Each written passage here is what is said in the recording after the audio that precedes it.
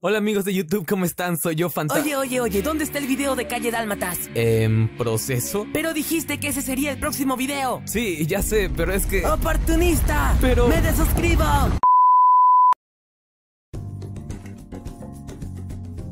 Sí, lo sé, sé que dije que el siguiente video sería el de Calle Dálmatas, pero esta noticia nos cayó como balde de agua a todos, y hasta que termine el otro video, la noticia ya sería muy antigua, así que mejor decidí hacer este. Las decisiones difíciles requieren voluntades fuertes. Como saben, hace poco se anunció la secuela del live action del Rey León. Muchos se alegraron, otros se emputaron y a otros les dio igual.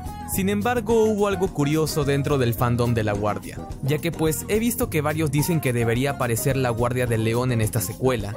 Yo asumo que lo dicen porque, bueno, ayudaría, entre comillas, a arreglar el error de continuidad que hubo con la inclusión de la Guardia en el canon.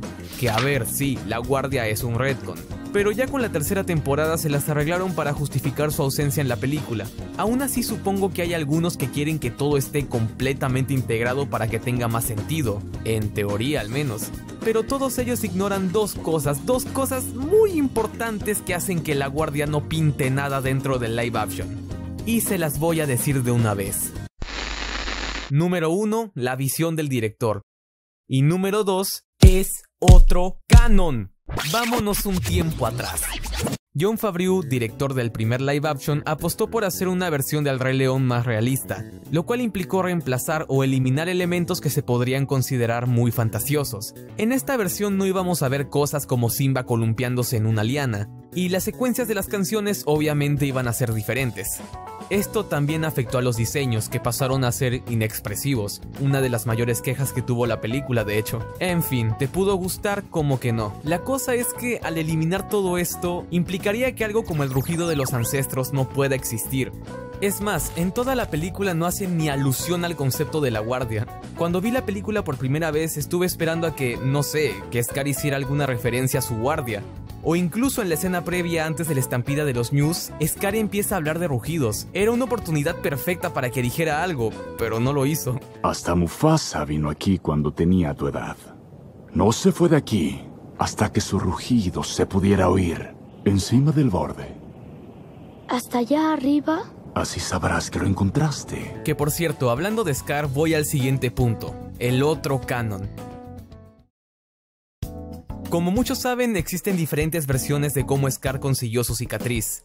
Sin embargo, la única que cuenta como la canon de verdad es la de la guardia. Pero en el live action se nos explica que la cicatriz fue por una pelea con Mufasa. Por lo tanto, aquí no existe el veneno que te corrompe como nos explicaron en la guardia. Lo que significa que tampoco existe el árbol de la vida. No podría. Digo, un lugar donde se juntan varios ecosistemas es totalmente imposible. Ah, no, pero tenemos que emparejar a Kayon y Rani porque naturaleza y la serie es realista. Ok, me desvié. Como ven, todos estos cambios directamente evitan que el solo concepto de la guardia exista en este canon. ¡Ey, Fantaje! Pero cambiaron de director. Eso quiere decir que el enfoque podría cambiar para la siguiente. Aparte, necesito plata. Sí, es verdad, hubo un cambio de director. Sin embargo, esto no significa que ahora podremos ver a Simba siendo un pony mágico volando por el cielo. Es obvio que el director va a continuar con lo que dejó John. Solamente podría haber cambios en la narrativa, pero no tal cual en el mundo que ya construyeron. Ahora, lo que sí podría existir es Kion y sus amigos. No sabemos cómo se conocieron, pero no desentonaría tanto como para no ponerlo. Aunque claro, probablemente habría un cambio en cómo conocieron a Ono, ya que estas tres llenas, al no ser estas, afectaría a cómo serían Yanya, Chis y Chungu. Y sí, ya sé que no está del todo confirmado que sean sus padres, pero vamos, es casi un hecho.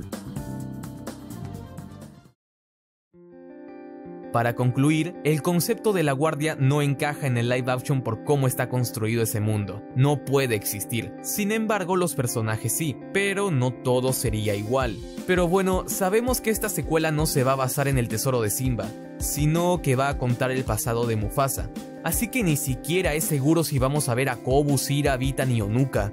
Solo esperemos que por favor, que por favor el cachorro de Simba y Nala sea Kiara. Porque si de la nada inventan otro hijo, va a ser un caos.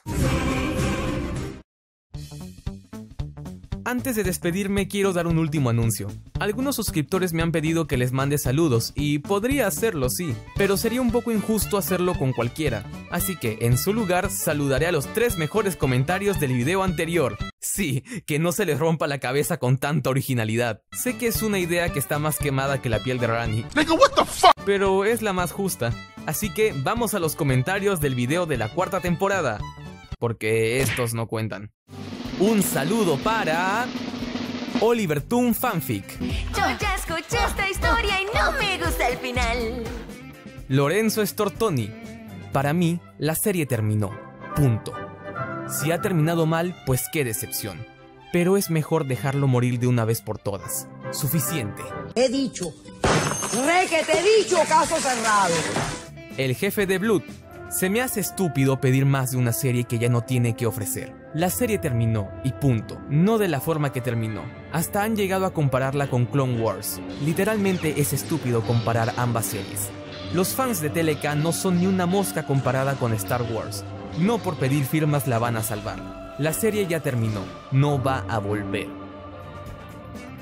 Si tú también quieres un saludo, deja el mejor comentario que puedas en este video y probablemente serás saludado en el siguiente. Y eso es todo lo que tengo que decir. Espero que les haya gustado el video, así que sin más que agregar, me despido. Adiós.